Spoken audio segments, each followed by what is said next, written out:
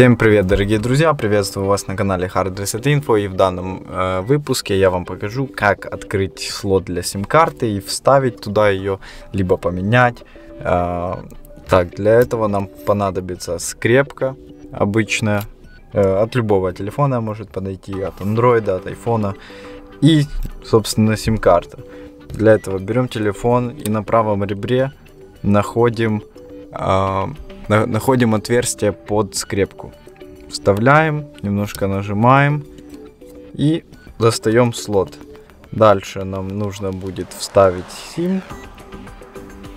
Симку вставили под формочку и вставляем слот обратно. Как вы можете видеть, у нас идет поиск сети.